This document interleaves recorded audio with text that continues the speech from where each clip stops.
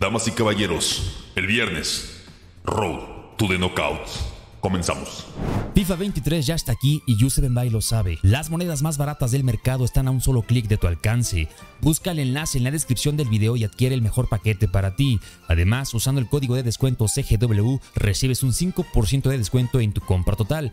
Ya lo sabes, Buy, la mejor página para comprar monedas. Así es amigos, el día de hoy eSports mediante una pantalla de carga nos informa y nos comenta que este viernes ya tendremos el segundo evento de FIFA 23, los Roto de Knockouts.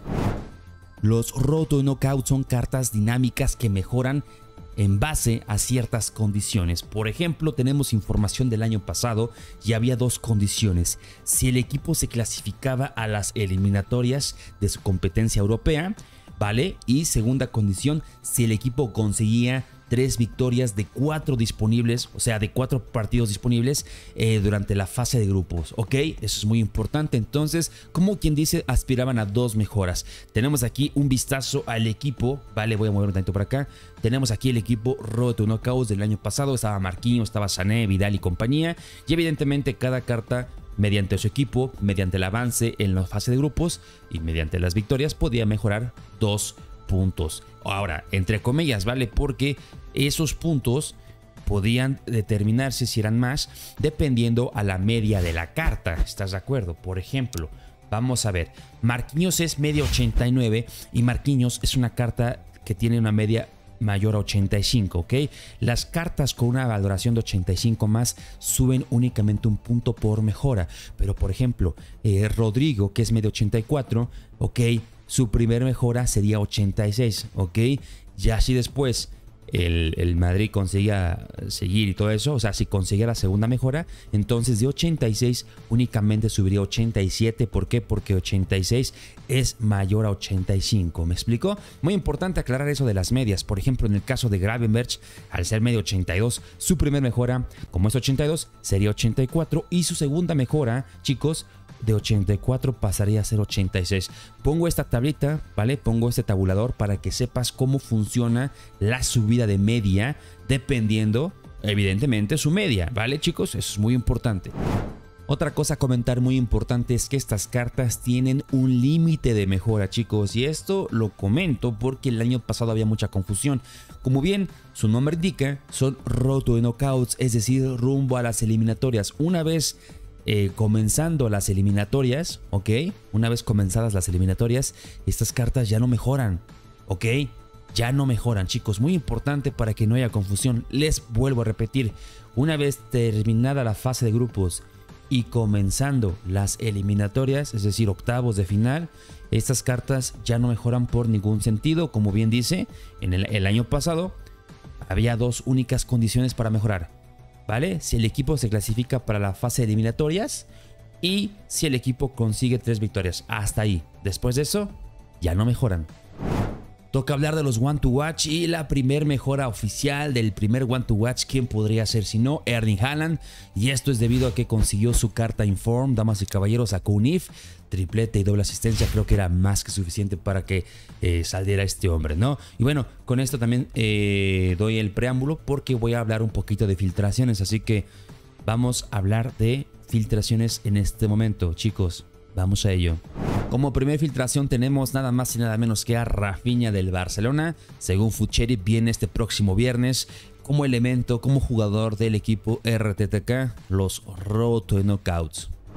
Segunda filtración también, si hablamos del Barça, tenemos que hablar del Real Madrid, damas y caballeros, y es que aquí tenemos a Federico Valverde igual, se viene para el equipo de los Roto de Knockouts, y ojito que Valverde recibiría su tercer carta especial de este FIFA, bueno, mejor dicho, recibe su segunda carta especial de este, no es cierto, es su tercera, es su tercera, porque el primero fue Leaf, el segundo fue el Player of the Month, y el tercero es este hombre, chicos, digo, hablando del Player of the Month, es un poquito, ¿no? Mala leche que Salió el Player of the Moon y ahora sale esta carta. Interesante, digo, obviamente lo digo con respeto porque habrá gente que se ofenda, pero bueno, EA, ¿no? Es lo que hay. Damas y caballeros, el pajarito Valverde, RTTK. Y ya que de sorpresas hablamos, no podía faltar la cabra. El señor Andrés Leonel Messi, muchachos, igual viene como RTTK este próximo viernes. Y digo, es una sorpresa porque ya tendremos la primera carta especial de Leonel Messi para FIFA 23. Y nada, ¿vale? Las estas son predicción y lo vamos a ver este próximo viernes en el equipo RTTK. Otra filtración, pero ahora de Food Arcade es el señor Aubameyang, que según Food Arcade también vendrá como Roto Knockouts este próximo día viernes. Evidentemente el Chelsea tiene características muy buenas en ritmo y digo, habrá que ver cómo es que vienen las stats finales de el señor Aubameyang. Otra filtración de Food Arcade es nada más y nada menos que Foden, que bien, si no salió en el equipo de la semana porque salió su compañero Ellen Haran, lo vamos a tener este próximo viernes como Roto Knockouts. Y bueno, según otras fuentes no oficiales, también podríamos ver a, Hernández, el lateral izquierdo del Milan. También podemos ver a Conate por ahí. Y bueno, a ver, esto lo interpreto como, como predicción. Sin embargo, he visto varias páginas donde ponen a Hernández y ponen a Conate. No sé si se hayan filtrado por otra, otra fuente, pero he visto mucho a Hernández y a Conate. Veremos este día viernes a ver al final si salen o no. Se ha agregado un diseño nuevo a la base de datos de FIFA 23 en donde se ve una ficha, una carta de intercambio, ¿ok? Es un swap eh, denominado FGS y bueno, hay que recordar que las fichas FGS son tokens que se pueden intercambiar por sobres gratuitos dentro del juego. ¿Cómo se consiguen estos tokens FGS? Bueno, básicamente se consiguen viendo directos o transmisiones de eSports FIFA eh, en Twitch, ¿vale? Tú ves la transmisión y después de cierto tiempo te dan una ficha, ¿ok? Es totalmente gratis y lo vamos a tener ya próximamente en FIFA 23. Ahí está el diseño.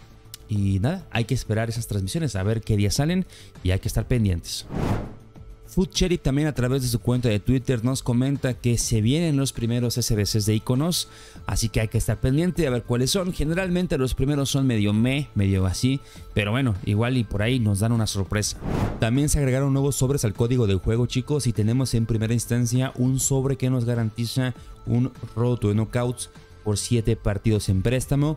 Luego tenemos abajo el, Warm Up to Foot 23 Pack 3. Esto es, si no me equivoco, recompensa de FIFA 22 porque fue básicamente algo que hacías en FIFA 22 y te daban en FIFA 23. Y aquí tenemos, contiene dos cartas de los raros y un icono de base o este, un icono baby de préstamo 5 partidos. También es importante mencionar que lo que dice aquí Alt, eso es Alt, es lo anterior. Eh, y aquí lo comento porque muchas veces hay confusión y la gente cree que también esto te lo dan y no.